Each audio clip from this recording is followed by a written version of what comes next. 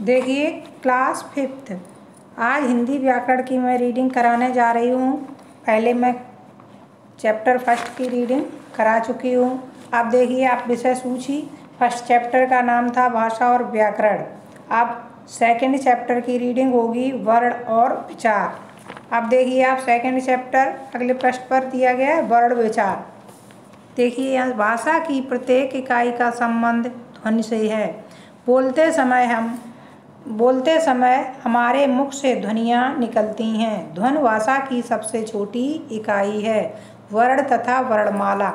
वर्ण भाषा की सबसे छोटी ध्वनि है। इसे तोड़ा नहीं जा सकता, इसलिए इसे अक्षर कहते हैं। इन अक्षरों के एक समूह में क्रमबद्ध किया गया है, जिसे वर्णमाला कहते हैं। ध्यान दें यहाँ पे।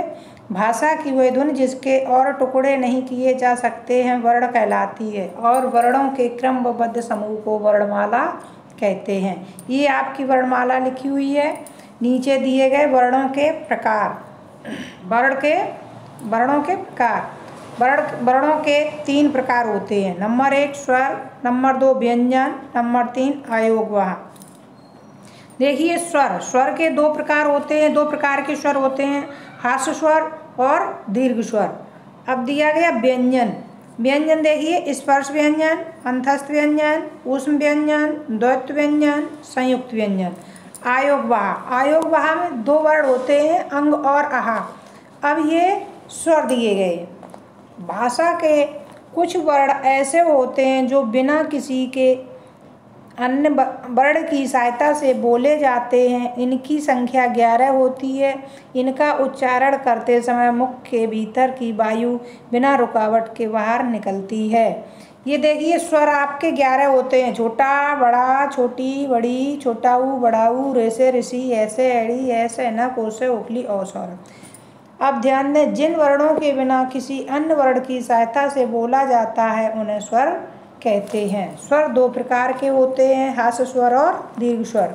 अब देखिए हास स्वर। इन स्वरों के उच्चारण में कम समय लगता है। इनकी संख्या चार होती है। हास्य स्वर की संख्या चार होती है। छोटा आ, छोटी ई, छोटा ऊ बड़ा ऊ अब दीर्घ स्वर। इन स्वरों को उच्चारण में अधिक समय लगता है। इनकी संख्या सात है। बड़ा आ, बड़ी ई, बड़ा ऊ ऐसे एड़ी ऐसे एन, ओसे ओगली, औसे औरत। ये आपके दिए गए नीचे निम्नलिखित शब्दों के वर्णों को अलग अलग करके लिखिए। ये आप बुक से, बुक में फिल करेंगे पेंसिल से। निम्नलिखित शब्दों में दीर्घ स्वर व हास्य स्वर लिखना है इसमें भी पेंसिल से आपको बुक फिल करनी है। अब दिया गया है व्यंजन। व्यंजनों का उच्चारण स्वर की सहायता से किया जाता है। इनकी संख्या पैंतीस है। व्यंजनों की संख्या पैंतीस है। इनका उच्चारण करते समय मुँह की वायु, जीव, दांत, ओंठ, तालु, कंठ आदि से टकराकर बाहर निकलती है। व्यंजनों को सात वर्गों में रखा गया है। देखिए, पहले का वर्ग होता है, का, खा, गा गा इंजन अगले पृष्ठ पे चा वर्ग चलेगा। चा, छा, जा जा या। फिर टा वर्ग चलेगा। टा, ठा, डा डा ड़ा ता वर्ग चलेगा। ता, था, दा, न, धा, न। पा वर्ग चलेगा, पा, फा, वा, भा, म। अंथस्थ या, रा, ला, वा। ऊष्म व्यंजन होते हैं, ईशा, शा, सा, हा। ध्यान दें ड़ा और ड़ा को अतिरिक्त व्यंजन कहते हैं। इनसे कोई शब्द आरंभ नहीं होता है। ये हमेशा शब्द के बीच में आते हैं। व्यंजन के छह भेद होते हैं, स्पर्श व्यंजन। नंबर एक है, स्पर्श व्यंजन। इन व्यंजनों के उच्चारण में जीव मुँह से, मुँह के किसी न किसी भाग को स्पर्श करती है। का से हाथ तक इनकी संख्या पच्चीस है। ये स्पर्श व्यंजन लिखे हैं आपको, ये आप बुक से देख लें, पढ़ लें। नंबर दो है अंतस्थ व्यंजन। इन व्यंजनों के उच्चारण में मुँह के किसी भाग से जीव का स्पर्श पूरी तरह से नहीं होता। या जीव मुँह के भागों से बहुत ही हल्का सा स्पर्श करती है। इन्हें अंतस्थ व्यंजन कहते हैं। अंतस्थ व्यंजन चार हैं, या, रा, ला, वा। अब उष्म व्यंजन। कुछ व्यंजनों के उच्चारण में वायु तेज गति से मुँह के भागों से रगड़ कर खाती हुई बाहर आ निकलती है, जिसमें ऊष्मा गर्मी उत्पन्न होती है। इसलिए ऐसे व्यंजन उस व्यंजन कहलाते हैं। उस व्यंजन भी चार हैं। ससलम सषटकोण सफेरा हा हल द्वैत व्यंजन एक जैसे दो व्यंजनों का परस्पर संयुक्त होना द्वैत व्यंजन कहलाता है। जैसे लज्जा, डबल जा है, छज्जा, जैसे गुड्डा, मक्का, बग्गा, कच्चा। ये द्वैत व्यंजन हो गए। अब देखिए संयुक्त व्यंजन। जब दो व्यंजनों के बीच कोई स्वर नहीं होता है तो उन दोनों को मिलाकर एक लिख, एक लिखते हैं, एक साथ लिखते हैं, ऐसे व्यंजनों को संयुक्त व्यंजन कहते हैं। जैसे का प्लस षटकोण बराबर छः जैसे कच्छा, सा प्लस रा प्लस त्रा, त्रिशूल, सा प्लस रा प्लस श्री, श्रम, परिश्रम, जा प्लस यहाँ प्लस ज्ञा, ज्ञापन, विज्ञापन ये याद, आयोग वह देखिए। ये ना तो स्वर होते हैं और ना ही व्यंजन। अंग और आहा आवरण आयोग वहाँ हैं। अंग की मात्रा को अनुनाशक कहते हैं और आह की मात्रा को विसर्ग कहते हैं। इनकी ध्वन स्वर तथा व्यंजन की ध्वन से भिन्न होती है, इसलिए इनका किसी से योग नहीं होता है। इसी कारण इन्हें आयोगवाह कहते हैं। अब देखिए, स्वरों की मात्राएँ। जब स्वरों को व्यंजन के साथ मिलाकर लिखा जाता है तो स्वरों के स्थान पर स्वर के कुछ निश्चित चिन्हों का प्रयोग किया जाता है। व्यंजन के साथ प्रयोग किए गए स्वर के ये चिन्ह स्वरों की मात्राएँ कहलाते हैं। स्वर आ की कोई मात्रा नहीं होती है, परंतु व्यंजनों का उच्चारण आ के बिना नहीं होता है। जैसे का प्लस छोटा आ तो का प्लस छोटा का ला प्लस छोटा आ। ला, माँ प्लस छोटा आ तो हो गया इधर का लामो, इस तरीके से आद। स्वरों की मात्राएँ और व्यंजन के साथ इनके प्रयोग देखिए। ये आपकी जो सारणी बनी हुई है, इसमें देखिए स्वर लिखे हैं, मात्राएँ लिखी हैं और इनका प्रयोग दिया गया है, वो लिखे हैं वर्ड, शब्द इनको देखिए। अब आप अभ्यास प्रश्न, मौखिक प्रश्न पर देखिए, सोचिए और बताइए। नंबर एक दिया गया है वर्णमाला में वर्णों की संख्या कितनी होती है? तो इसमें लिखेंगे फिफ्टी टू नंबर दो, अतिरिक्त वर्ण कौन कौन से हैं? इसमें लिखेंगे डा डा अगले पृष्ठ पे देखो. नंबर तीन देखेंगे. ऊष्म व्यंजन कौन कौन से हैं?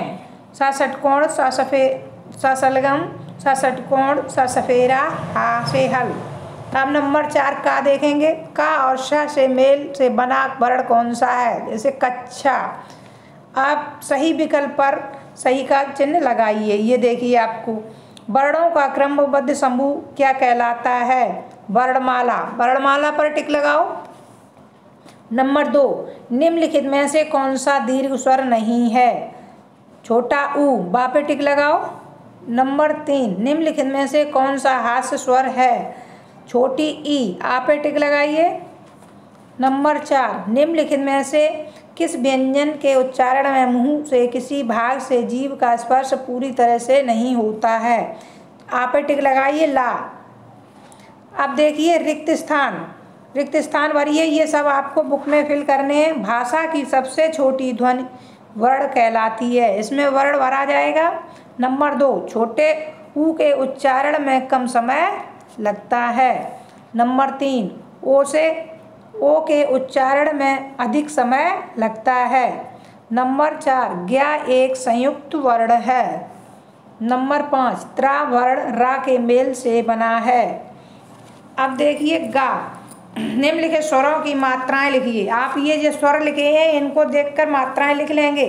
छोटा ऊ बना है तो छोटे ऊ की मात्रा, रे से ऋषि, रे से ऋषि की मात्रा, ओ से ओखली तो ओ से ओखली की मात्रा। ए है तो ए की मात्रा बड़ा बना बड़ा का मात्रा औ बनी औ की मात्रा। निम्नलिखित, अब नीचे दिए गए हैं निम्नलिखित प्रश्नों के उत्तर लिखो। ये आपको फिर नोटबुक में लिखना है। तो सबसे पहले देखिए, चैप्टर टू डाल के वर्ण विचार। और प्रश्न नंबर एक डालेंगे, उस पर लिखेंगे, वर्ण विचार के अंतर्गत हम किसका अध्ययन करते हैं? इसका आंसर है, वर्ण शब्द तथा वाक्य के आकार भेद रूप वर्ण विचार के अंतर्गत अध्ययन करते हैं। नंबर दो, क्वेश्चन नंबर दो है, जो वर्ण स्वतंत्र रूप से बोले जाते हैं, उन्हें क्या कहते हैं? इसका आंसर है, जो वर्ण स्वतंत्र रूप से बोले जाते हैं, उन्हें स्वर कहते हैं। नंबर तीन, हास्य स्वर एवं दीर्घ स्वर में क्या अंतर है?